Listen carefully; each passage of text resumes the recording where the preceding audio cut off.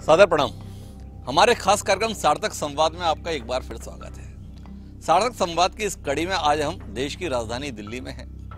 दिल्ली में वातावरण की बात करें तो मौसम बड़ा सर्द है। हमारे साथ जो मेहमान हैं, उनके कपड़ों को देखकर आपको सर्दी का एहसास हो सकता है।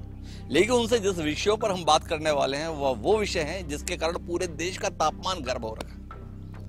आप समझ गए, हम बात करना चाहते हैं समान नागरिक संहिता पर, हम बात करना चाहते हैं उनसे जो तात्कालिक विषय बना हुआ है नागरिकता संशोधन विधेयक पर। हम बात करना चाहते हैं नागरिकता के संदर्भ में जो एनआरसी लाने की बात हो रही थी, उसके संदर्भ में एनपीआर पे भी हम बात करना चाहते हैं और बात इसलिए करना चाहते हैं क्योंकि वह देश के सत्तारूढ़ दल के एक जिम्मेदार पदाधिकारी है।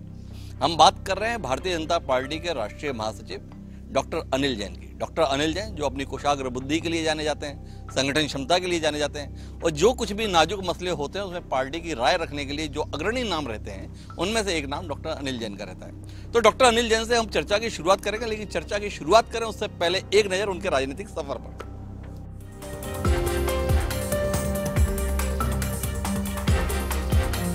अनिल जैन, बीजेपी का वो वरिष्ठ चेहरा, जिनकी राजनीतिक कार्यकुशलता और सूझबूझ पर केंद्रीय नेतृत्व को भी अटूट विश्वास है। अपनी काबिलियत के दम पर अपनी पहचान करने वाले Anil Jain BJP core team का एक ऐसा चेहरा है जो कई मोर्चों पर अपनी कार्यकुशलता का लोहा मनवा चुके हैं। बीजेपी के राष्ट्रीय महासचिव, राज्यसभा सांसद और हरियाणा और छत्तीसगढ़ के प्रभारी के तौर पर ये अपनी जिम्मेदारियाँ बखूबी निभा रहे हैं। अनिल जैन मूल रूप से उत्तर प्रदेश के फिरोजाबाद से ताल्लुक रखते हैं। फिरोजाबाद से इंटर की पढ़ाई पूरी करने के बाद इन्होंने लखनऊ मेडिकल कॉलेज में एडमिशन लिया। लखनऊ के किंग जॉर्ज मेडिकल कॉलेज से एमबीबीएस और एमएस करने के बाद वो दिल्ली आ गए, जहाँ कई बड़े प्रतिष्ठित अस्पतालों में इन्होंने बतौर सीनियर सर्जन अपनी सेवाएँ दी। आचरण से बेहद सरल और सादगी पसंद अनिल जैन का झुकाव समाज सेवा की ओर भी रहा। जन जुड़ाव की इसी प्रवृत्ति से उनका झुकाव संघ की ओर भी हुआ। आरएसएस से जुड़ने के बाद इन्होंने लंबे समय तक बतौर प्रचारक अपनी सेवाएँ दी। उन्होंने झारखंड और बिहार में भी बतौर प्रचारक उल्लेखनीय भूमिका निभाई। उनके इसी रुझान और समर्पण भाव ने उनके जीवन को नई दिशा दी और इस तरह अनिल जैन बीजेपी के परचम तले सक्रिय राजनीति से जुड़ गए। वर्तमान में अनिल जैन बीजेपी के राष्ट्रीय महासचिव और राज्यसभा सांसद होने के साथ साथ छत्तीसगढ़ और हरियाणा के प्रदेश प्रभारी के तौर पर महत्वपूर्ण ज़िम्मेदारी निभा रहे हैं। उनके बहुआयामी व्यक्तित्व की एक झलक ये भी है कि राजनीति में अपनी धाक जमाने वाले अनिल जैन सामाजिक कार्यों के प्रति भी उतने ही समर्पित रहे हैं। वो इंटीग्रेटेड टैलेंट डेवलपमेंट मिशन के संरक्षक के तौर पर काम कर रहे हैं। साथ ही सामाजिक सेवा से जुड़े कई दूसरे कार्यों में भी इनका समर्पण भाव उल्लेखनीय है। बीजेपी में अनिल जैन केंद्रीय नेतृत्व के काफ़ी भरोसेमंद और काबिल चेहरों में शुमार हैं, जिसकी वजह भी साफ़ है। संगठन में मिली जिम्मेदारियों को अपनी कार्यकुशलता और राजनीतिक सूझबूझ के दम पर निभाने वाले अनिल जैन पार्टी की हर उम्मीद पर खरे उतरते आए हैं।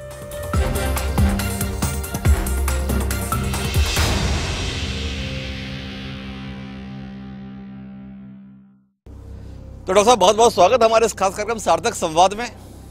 उम्मीद है कि आपके साथ कुछ सार्थक बातें आज हो पाएँगी। ज़रूर होगी। तो सार्थक बात में सबसे पहला तो जानना यही है कि आप प्रचंड बहुमत के साथ दोबारा सत्ता में आए केंद्र में। 300 से ऊपर सीटें पहली बार भारतीय जनता पार्टी और जनसंघ के इतिहास में आपने हासिल की। उम्मीद ये थी कि देश का वातावरण आप अच्छा करेंगे देश को तरक्की की राह पर ले जाएँगे देश एक नई ऊंचाई की ओर लेगा। कर क्या रहे हैं आप? हर तरफ़ आग लगवा दी। देखिए देश ऊंचाइयों की तरफ़ ही जा रहा है। मैं बता दूँ कि इस दूसरे मोदी टू में आज़ादी के बाद जो इस पहला सत्र हुआ था वो सत्र भारत के इतिहास का स्वर्णिम पृष्ठ कह सकते हैं। उस सत्र में सबसे ज़्यादा घंटे काम हुआ सबसे ज़्यादा बिल पास हुए सबसे ज़्यादा लंबे समय तक काम हुआ और हमारे युवा मित्र जो लोकसभा के अध्यक्ष बने उन्होंने एक दिन में देर देर तक लगातार बगैर इमरजेंसी के सत्र चलाया। इस सब के बावजूद सबसे बड़ी बात जो भारत माता के माथे पर एक तरह का कलंक था 370 और 35 ए को धोने का काम किया। ये मुद्दे भी देश के लिए महत्वपूर्ण मुद्दे हैं जी। इस सत्र में तीन तलाक कानून पास हुआ। देश की जो तथाकथित माइनॉरिटी कहते हैं, उसकी आधी आबादी। करीब करीब 10 करोड़ लोगों के जीवन में इतना सार्थक परिवर्तन एक ट्रिपल तलाक के हटने से हो सकता है। ये कानून पास हुआ। यूएपीए का कानून पास हुआ। और इसलिए मैं कहता हूँ कि देश में मोदी टू में कीर्तिमान स्थापित किए हैं। ये कभी न कभी ये मुद्दे जो सत्तर साल से नासूर बने थे, इन मुद्दों को मोदी सरकार ने हल ही नहीं किया, निश्चित और पूरे रणनीति के साथ देश भर में इस जिस पर कोई बवाल नहीं उठा इस प्रकार के काम किए।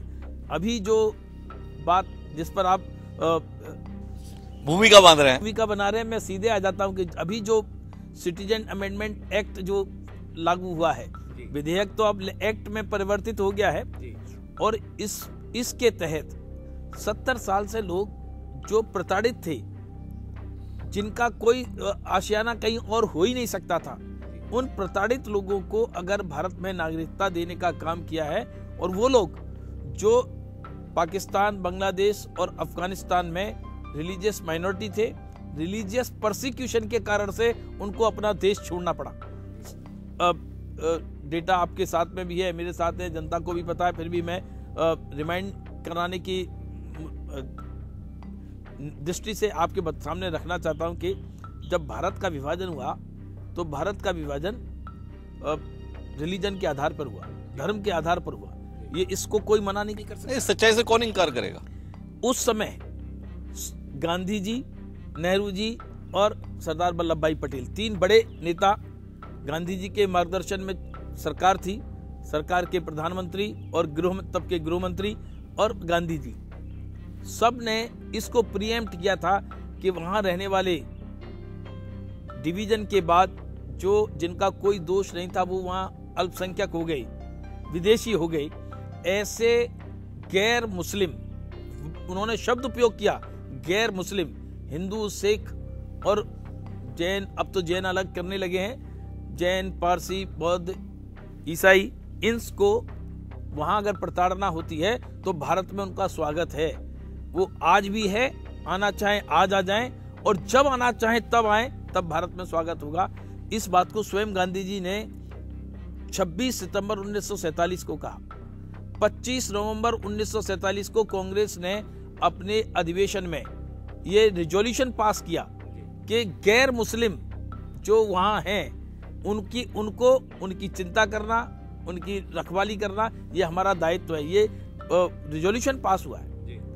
तो अगर वो काम कांग्रेस की सरकारों ने अगर नहीं किया, उन और भारतीय जनता पार्टी की नरेंद्र मोदी जी की सरकार ने किया है तो इसके लिए तो सही मायने में सबको साधुवाद देना चाहिए। साधुवाद देना चाहिए आपका कहना है। अब तक हम आपका जो इतिहास देखे हैं तो हमेशा आपने ये बताया कि कांग्रेस ने कुछ ठीक नहीं किया। जो किया, देश को बर्बाद करने का काम ही किया, आज़ादी के बाद से। लगातार आप उदाहरण सहित समझाते आ रहे हैं देश के। पहली बार ऐसा है जिसमें कांग्रेस ने कोई फैसला लिया और उस पर अमल करने की बात आप कर रहे हैं। ये बदलाव क्या कहता है? देखिए government is a continuous process कभी हमने ये नहीं कहा कि कांग्रेस की सरकारें जो चली उन्होंने सब बर्बादी किया। ऐसा नहीं कभी कहा। 2003 में गृह मंत्री थे अडवाणी जी और नेता प्रतिपक्ष थे मनमोहन सिंह राज्यसभा में। उन्होंने अडवाणी जी को इंगित करते हुए कहा कि गृह मंत्री जी डिप्टी प्राइम मिनिस्टर साहब इस देश में जो बांग्लादेश से आने वाले हिंदू और सिख हैं या वो वहाँ रह रहे हैं वो उनकी स्थिति बद से बदतर है उनको हमें नागरिकता देने पर विचार करना चाहिए। और गांधी अडवाणी जी ने उन्हें भरोसा दिया था कि हम ज़रूर इस पर विचार करेंगे सहानुभूति पूर्वक उसके बाद असम के मुख्यमंत्री तरुण गोगोई या राजस्थान के मुख्यमंत्री अशोक गहलोत अभी नहीं पुराने टर्म में उन्होंने अपने प्रधानमंत्रियों को लिखकर कहा कि वहाँ से जो गैर मुस्लिम आए हैं जो वहाँ के अल्पसंख्यक हैं इनके ऊपर सहानुभूति पूर्वक विचार होना चाहिए। हिंदुस्तान में ये बात उनके लोगों ने लिखा है। और ये इसी काम को अगर इस सरकार ने किया है तो इनको तो साधुवाद देना चाहिए। एक बात आपसे जानना चाहता हूँ आपने डॉक्टर मनमोहन सिंह का उल्लेख किया। मनमोहन सिंह कभी जन नेता नहीं माने गए। उन्होंने जनता की बात रखी कि वहाँ पे बड़ी परेशानी है और इस पर आप ध्यान दें उस पर आपने ध्यान दे लिया। देश की अर्थव्यवस्था बदहाल हो रही है इसको लेकर जो मनमोहन सिंह विशेषज्ञ हैं जिनकी बुद्धिमत्ता का पूरी दुनिया कायम रही है का, आ, काबिलियत को मानती है आर्थिक मसलों पर उनकी सलाह को तो आप कोई गंभीरता से नहीं लेते। और जनता के संदर्भ में मुद्दा उठाया आपने इतनी गंभीरता से ले लिया जिनको कभी आपने जन नेता नहीं माना। ये विरोधाभास वक्त के साथ अपने समर्थन में ढूंढ रहे ये मांग आज से नहीं है। जब से हम राजनीतिक दल हुए हैं, तब से है। तो हमने अपने एजेंडे पर काम किया है।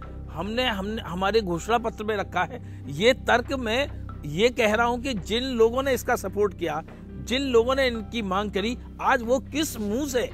वो गांधी जी का, नेहरू जी का, सरदार वल्लभ भाई पटेल का इवन श्रीमती इंदिरा गांधी का, और मनमोहन सिंह का, और अपने मुख्यमंत्रियों का विरोध करने के लिए खड़े हैं। किस लिए खड़े हैं? आखिर और फिर इस बात का इतनी भ्रांति फैलाकर देश के साथ में सही मायने में ये ये पाप कर रहे हैं। भ्रांति फैला रहे हैं। इस देश के 130 करोड़ नागरिकों का ये सी से कोई संबंध नहीं है। नागरिकता संशोधन अधिनियम से उनका कोई संबंध नहीं है क्योंकि 130 करोड़ देश के नागरिक इससे प्रभावित होने वाले नहीं है।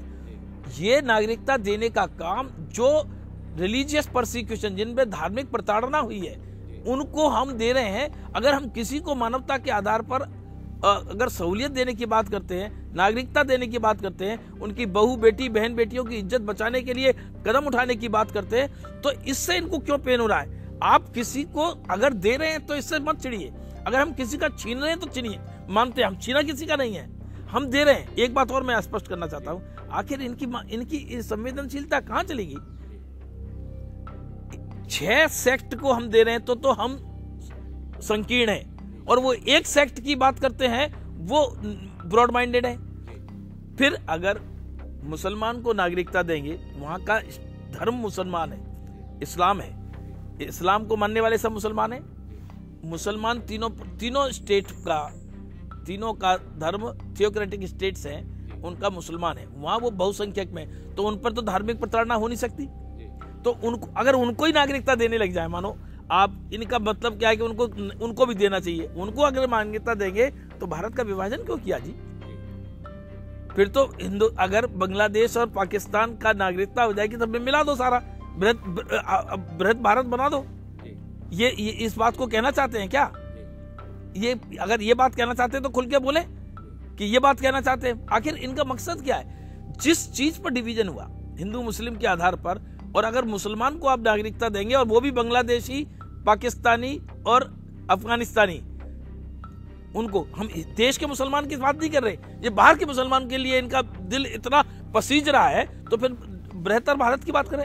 इसके संदर्भ में, विरोध के संदर्भ में अपना एक आकलन है लोगों का। आकलन ये आया है कि जो आपने एनआरसी असम में लागू किया और वहाँ पे लागू होने के अंतर्गत 19 लाख लोग ऐसे हैं जो एनआरसी के तहत बाहर हैं। जिनके संदर्भ में भारत की नागरिकता प्रमाणित नहीं पाई गई है। उनमें से तेरह लाख लोग हिंदू हैं। विपक्ष का आरोप है इन तेरह लाख लोगों को वोट बैंक की राजनीति के तहत भाजपा बसाना चाहती है इसलिए ये कानून लेकर आई है। अनिल जैन क्या कहते हैं देखिए ये ये इनको हमेशा वोट बैंक की राजनीति दिखती है। मैं कह रहा हूँ कि जिस जिस बात को जब देश विभाजित हुआ तब तो वोट बैंक नहीं था। तब गांधी जी ने कहा तब कांग्रेस ने पास किया सरदार वल्लभ भाई पटेल ने कहा, नेहरू जी ने कहा, इकहत्तर में बांग्लादेश बनने के बाद जब इंदिरा, श्रीमती इंदिरा गांधी ने नागरिकता संशोधन किया था, सारे बांग्लादेश से जो लोग आए थे, उनको इकहत्तर में नागरिकता दी थी।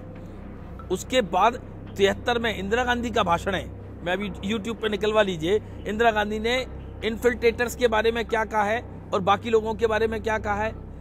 अगर इस देश में धर्म के आधार पर डिवीज़न होता है और उसके बाद लोगों को धार्मिक प्रताड़ना होती है बाहर, उन लोगों को right from the very beginning ये प्रियम्प्ट किया यहाँ के नेताओं ने कैसा हो सकता है। तभी उन्होंने कहा था, गांधी जी ने, तब तो वोट बैंक की राजनीति नहीं थी, आज वोट बैंक की राजनीति दिख रही है इनको। और मैं कहता हूँ कि ये वोट बैंक की राजनीति के कारण से किसी ना किसी प्रकार से इन्फिल्ट्रेटर्स इनके वोट बैंक बने रहे, इसलिए ये बात कहना चाहते हैं। इस देश के मुसलमानों को वोट बैंक की राजनीति उन्होंने समझा हमेशा। इसीलिए मुसलमानों को बरगलाने का काम किया मुसलमानों को वोट की वस्तु समझा। अब मुसलमान समझने लगे और सेंसिबल मुसलमान ये बात कह रहे हैं अब उनको ध्यान में आने लगी है कि ये हिंदुस्तान के मुसलमान से इसका कोई वाकई मतलब ही नहीं है। लेकिन मुसलमान जोड़ दो तो मुसलमान पागल हो जाएँगे। ये इन्होंने ये करने की कोशिश करी है। आपका कहना है कि मुसलमान समझने लगे हैं। अगर समझने लगे तो सड़क पर कौन उतर रहा है? नहीं अब नहीं, मैं यही तो कह रहा हूँ कि ये उन्होंने कुछ दंगाई उतरवाने की कोशिश करी। भिन्न भिन्न राजनीतिक पार्टियों ने कांग्रेस उसकी मुखिया बनी और कांग्रेस और कम्युनिस्ट पार्टियों ने मिलकर इस देश में बवंडर खड़ा करने के लिए क्योंकि क्योंकि इनकी खिसियाहट थी। खिसियाहट किस वजह से? ये नरेंद्र मोदी जी को अपने किसी एजेंडे पर रोक नहीं पाए। मोदी जी द्वारा बड़े बहुमत के साथ आ गए देश में। तो अब इन्होंने क्या वितंडावाद खड़ा किया जाए? कैसे इनको रोका जाए? इसके कारण से ये हर समय पर ये ऐसी भ्रम फैलाकर करने की कोशिश करी। पीछे भी जब तमाम बिल पास हुए, तब भी कोशिश करी, तब हो नहीं पाया। इस बात को इन्होंने बड़ा चढ़ाकर पेश किया। कुछ लोग भ्रांति में आ गए और अब उनको समझ में आ रहा है तो अब सब चीज़ें थम जाएगी। आपको नहीं लगता कि पार्टी इस बार परिस्थिति का आकलन करने में कहीं चूक गई? आपने स्वयं बताया कि पहले हम इतने बड़े बड़े बिल लाए चाहे तीन तलाक के संदर्भ में आप लेकर आए, चाहे धारा 370 के संदर्भ में लेकर आए, चाहे राम मंदिर के संदर्भ में अदालत का फैसला आया, सब कुछ बड़ा शांतिपूर्ण रहा, जिसका ये देश आदि नहीं था। इतने बड़े बड़े कदम हुए और शांति के साथ हुए। पर इस बार जब ये आया तो आपको लगता है कि इस बार आकलन करने में कहीं ना कहीं सरकार और संगठन दोनों चूक गए? जो फैसले अब आप ले रहे हैं। जेपी नड्डा जी की अध्यक्षता में कार्यक्रम हो रहा है, उसमें संकल्प ले रहे हैं कि तीन करोड़ लोगों तक जाएँगे, लोगों को बताएँगे, समझाएँगे। थोड़ा आकलन करने में चूक हो गई। नहीं, देखिए है जो इस विषय की जानकारी सारे देश में ठीक प्रकार से थी और पार्टी ने इसकी भ्रम निवारण के लिए, ऐसा नहीं लगता था कि ये लोग इस हद तक उतर जाएँगे राजनीति के लिए। इस हद तक नीचे चले जाएँगे। आप चिदम्बरम का और कपिल सिब्बल का राज्यसभा का भाषण देख लीजिए। ये एक तरह से धमका रहे हैं। कानूनी प्रक्रिया को अब ये संविधान को मानने वाले लोग आप लोग सवाल करिए जरा। मैं आपसे निवेदन करता हूँ कि जो लोग ये कहते हैं कि हम इस कानून को नहीं मानेंगे उनसे पूछिए कि इस भारत के संविधान को मानते हैं कि नहीं। संविधान की शपथ लेकर आज वो मुख्यमंत्री बने हैं। वो ये कैसे कह सकते हैं कि देश की संसद में दोनों सदनों से पास हुए कानून को नहीं मानेंगे? मेरे पास आपके लिए सवाल है फिर उनके कदमों पे भी सवाल है। ये उन्होंने भ्रण भ्रम फैलाने में कहीं कुछ हद तक सफल हो गए कुछ अराजक तत्व इनके साथ मिल गए। कुछ फ्रस्ट्रेशन में लोग आ गए इस कारण से ऐसा हुआ है और इसको हमने कंटेन भी कर लिया है। और मैं तीन करोड़ जो लोगों से जनसंपर्क की व्यवस्था है उस उस समिति का काम राष्ट्रीय स्तर पर मुझे ही देखना है। वो जनसंपर्क अभियान का जो तीन करोड़ घरों तक पहुँचना है उस कार्यक्रम का प्रमुख मुझे बनाया पार्टी ने। तो हमने उसकी पूरी रूपरेखा बनाई है कि कैसे जाएँगे। लोगों को भ्रम दूर करेंगे। लोगों का भ्रम दूर करने के संदर्भ में अब आप प्रयत्न कर रहे हैं। पर आपको नहीं लगता है कि भ्रम बनाने में आप लोगों का भी बड़ा योगदान था? आप लेकर आए थे नागरिकता संशोधन विधेयक। साथ में बात करने लगे एनआरसी की। एनआरसी को लेकर ही पूरा वातावरण ऐसा बना। अमित शाह जी ने स्वयं संसद में बोला, एनआरसी हम लागू करेंगे, अभी असम में क्या पूरे देश में लागू करेंगे। 2024 तक कर कर रहेंगे एक एक को बाहर भेजेंगे। प्रधानमंत्री जी रामलीला में भाषण देते हैं मैदान में। कि एनआरसी की बात ही किसने की? एनआरसी पर तो कोई विचार नहीं हुआ। देश समझ नहीं पा रहा है। प्रधानमंत्री को सही माने या गृह मंत्री को? देखिए, प्रधानमंत्री जी और गृह मंत्री जी की बात में कहीं कोई विरोधाभास नहीं है। प्रधानमंत्री जी ने स्पष्ट कहा है कि एनआरसी का ना तो कैबिनेट में आई है, ना सरकार के साथ आई है, ना पार्लियामेंट में एनआरसी आई है। तो एनआरसी पर कोई बात करने का, जो एनआरसी को लेकर डराने धमकाने की बात कर रहे हैं, वो गलत है। यही बात अमित शाह ने कही थी। अमित शाह जी ने कहा कि हमने कोर्ट के आदेश से खाली असम में एनआरसी लागू किया था। यही बात प्रधानमंत्री जी ने रामलीला ग्राउंड से कही थी। मैं साथ में वहीं था, मैं रामलीला ग्राउंड में। कोई दोनों में विरोधाभास नहीं है। एनआरसी इस समय है ही नहीं। तो एनआरसी पे बात करने का क्या मतलब है? मेरा साफ़ साफ़ सवाल है, देश का गृह मंत्री, देश की सबसे बड़ी पंचायत में ये बोल रहा है कि एनआरसी हम लेकर आएँगे। 2024 तक लेकर आएँगे। अनिल जैन जी भी ये कह रहे हैं। तो इसके बाद में और क्या बच जाता है? और अगर इसके आधार पर विपक्ष सवाल उठा रहा है तो उसकी क्या गलती है? जब कुछ बना ही नहीं था तो गृह मंत्री जी को ज़रूरत क्या थी बोलने की? नहीं नहीं नहीं ये गृह मंत्री जी ने जब ये बोला था एनआरसी लाएँगे तो उन्होंने ये नहीं बोला कि हम अभी एनआरसी लाएँगे एक बात। हमने जब उस समय भी गृह मंत्री ने कहा था कि ये नागरिकता देने का सवाल है नागरिकता छीनने का सवाल नहीं है इसलिए आज हम नागरिकता संशोधन अधिनियम पर बात कर रहे हैं। और उस पर ही बात रखें। ये राज्यसभा में भी कहा, लोकसभा में भी कहा। दूसरी बात, जब उन्होंने कहा कि एनआरसी जब आएगी, तब उस पर चर्चा करेंगे। हम एनआरसी, अभी जो एनआरसी है, उन्होंने ये कहा था, देश में जब एनआरसी पूरी आएगी, अभी जो एनआरसी है, वो तो सुप्रीम कोर्ट के आदेश से केवल असम में आई है। जब एनआरसी पूरे देश में लागू होगी, तब उस पर चर्चा करेंगे। तो ये आज एनआरसी से सीए को जोड़ने का और डर दिखाकर लोगों को बरगलाने का कि तुम्हारी नागरिकता चली जाएगी। गरीब आदमी अपने प्रमाण पत्र कहाँ से लाएँगे? इस देश के 130 करोड़ नागरिकों के लिए कोई समस्या नहीं है। जो बेसिकली इनकी आड़ में वो अपनी राजनीतिक रोटी सेकना चाहते हैं या कहीं ना कहीं अपनी वोट बैंक को एड्रेस करना चाहते हैं और गलत भ्रम के कारण से ये इसको एक्सपोज करने की ज़रूरत है। यही मैं कह रहा हूँ, मैं आपसे ये पूछना चाहता हूँ कि ये सी जो नागरिकता संशोधन अधिनियम है कानून है इस कानून में एनआरसी का कोई ज़िक्र नहीं है। फिर एनआरसी की बात क्यों की जा रही है? अभी हम शरणार्थी को नागरिकता देने की बात कर रहे हैं। इस पर हमें स्पष्ट होना चाहिए इसमें कहा कमी है? जो ये ये प्रियम्प्ट पहले से कर लीजिए कि ये हो जाएगा जब होगा उसके नियम कानून आएँगे तब चर्चा करेंगे। अभी कहाँ से चर्चा कर लेंगे? अभी कहाँ से चर्चा कर लेंगे ये आपका कहना है। एक और विषय साथ में जुड़ गया। एनआरसी और सीए के संदर्भ में देश उलझा हुआ था। आप एनपीआर के संदर्भ में कहानी लेकर आ गए। एनपीआर के संदर्भ में कल ही गृह मंत्री जी का एक इंटरव्यू आया, जिसमें उन्होंने कहा कि एनपीआर और एनआरसी का कोई संबंध नहीं है। एनपीआर का जो विधान लिखा है, उसमें साफ़ साफ़ लिखा हुआ है this is the first step of NRC इसके बाद भी गृह मंत्री कह रहे हैं कि ये इसका कोई संबंध नहीं देखिए, एक बात बताने इस देश में अब तक इंडिपेंडेंस से पहले आठ बार जनगणना हुई है और इंडिपेंडेंस के बाद सात बार जनगणना हुई है। ये अभी जो होगा, ये आठवीं बार मतलब सोलहवीं बार टोटल मिला के जनगणना होगी। और जहाँ तक एनपीआर की बात है 2010 में मनमोहन सिंह की सरकार ने कानून बनाकर नेशनल पॉपुलेशन रजिस्टर बनाने की बात कही थी। उन्होंने जो बात कही थी, उसका वक्त ये है क्योंकि 2011 में जनगणना हुई थी। 2010 के बाद 11 में हुई एनपीआर की बात तब आई। उन्होंने कार्ड बांटे थे। 15 में भी बात आई और उसके बाद अब 2020 में 20 में एनआर एनपीआर बनने वाला है। 20 में जनगणना होने वाली है। जनगणना का अभिप्राय क्या है? नेशनल पॉपुलेशन रजिस्टर का अभिप्राय क्या है? देश की जितनी भी योजनाएँ बनती हैं चाहे बीपीएल की योजनाएँ बनती हैं चाहे जितनी वेलफेयर स्कीम्स बनती हैं सब इस जनगणना के आधार पर बनती है। देश में ही नहीं दुनिया भी हमारी जन इसी जनगणना को आधार मानती है। आज भी यूएन में हमारी जनगणना 2011 की जो जनगणना है उसके आधार पर सारी ऋण की फैसिलिटीज़ की सब व्यवस्थाएँ देश के आगे की योजना बनाने के लिए सबसे महत्वपूर्ण कदम है यही है। और इस पर योजनाएँ बनती हैं उसी के आधार से आवंटन होता है तो ये एनपीआर तो मस्ट है ही है। इस बात को एनआरसी से क्यों जोड़ रहे हैं? जो भी फैसले यूपीए सरकार ने लिए अमूमन आपकी सरकार उन्हें बदलती दिखाई देती थी उन फैसलों को खारिज करती थी।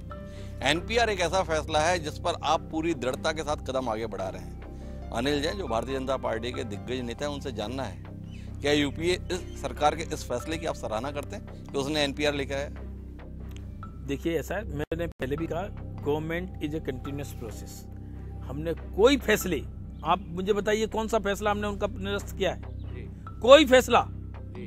हमने कोई फैसला निरस्त नहीं किया हमने गति बढ़ाई हमने उसके आयाम बदले हमने उसको रिफॉर्म करके लाए लेकिन हमने कोई फैसला बदला नहीं है। हम कभी भी इस राजनीति में विश्वास नहीं करते कि पिछली सरकार ने जो किया है वो खराब किया है। फैसला भरोसा तो इतना करते हैं कि आप योजनाओं को खारिज करते हैं और फिर भी उन्हें चलाते हैं। मनरेगा को लेकर जितने ज़ोर शोर से आपने उसे खारिज किया कि इससे ज़्यादा खराब आप कुछ नहीं कर सकते थे फिर भी आप मनरेगा को चला रहे मेरा तो एनपीआर को लेकर सिर्फ़ आपसे इतना पूछना ना, है। ना, ना मनरेगा के बारे में माननीय प्रधानमंत्री जी ने संसद में स्पष्ट कहा है कि हम मनरेगा को ज़ोर शोर से चला रहे हैं और बढ़ाकर चला रहे हैं। आपने भी वो सुना है मैंने भी सुना है सारे नहीं उससे पहले उन्होंने ये कहा था कि आपने लोगों को किस हालत में रखा मैं ढोल बजा बजा के इस योजना को और चला। तो ठीक है रखा उन्होंने। ये देश के लोगों को अगर रोज़गार नहीं मिले थे काम नहीं मिला था उसके लिए ये मनरेगा लानी पड़ी तो हम इसको कंटिन्यू कर रहे हैं। हम इसको आगे बढ़ा रहे हैं और और इसमें आयाम जोड़ रहे हैं। निकल्ला बना नहीं रहे।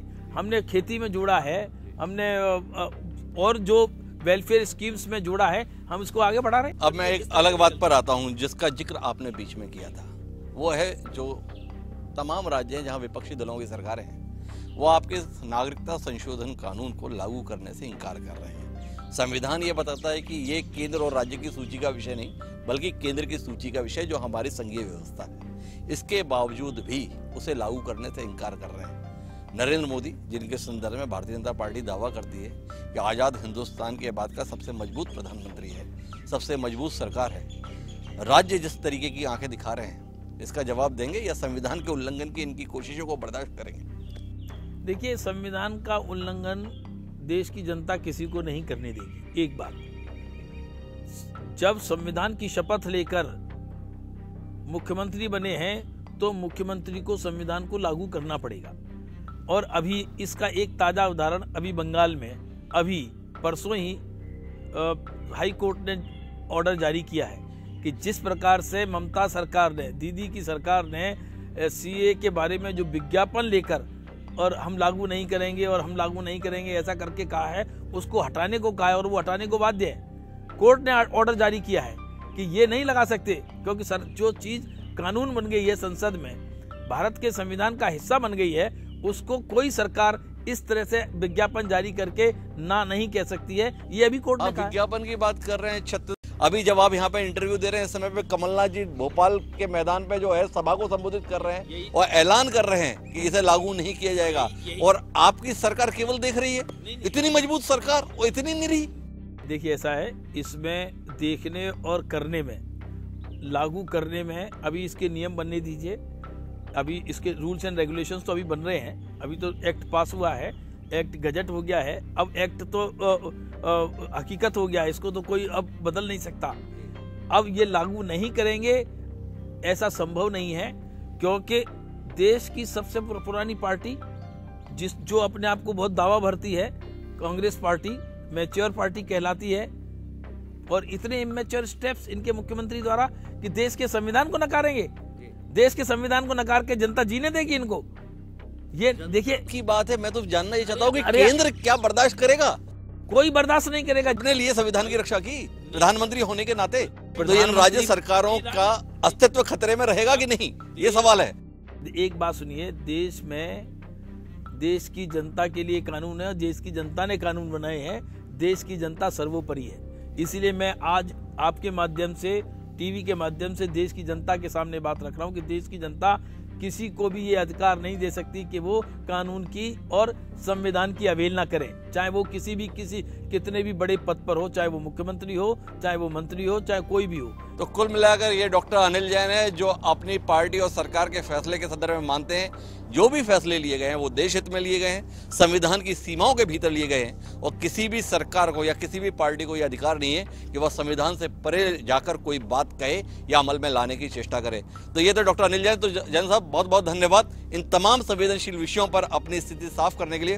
उम्मीद है कि आपसे जो बातचीत हुई है, उससे जनता का जनमानस काफ़ी हद तक स्पष्ट हो पाएगा वो जो एक भ्रांति इन विषयों के संदर्भ में बनी है, उसे दूर कर पाने हमारी चर्चा सार्थक रही होगी। तो दोस्तों, ये थे डॉक्टर अनिल जैन तो बहुत बहुत धन्यवाद। अनिल साहब, आपका हमारे साथ समय बिताने के लिए। तो इस बातचीत के बाद में फिर मुलाकात होगी एक नई शख्सियत के साथ। मुझे दीजिए याद सादा प्रणाम।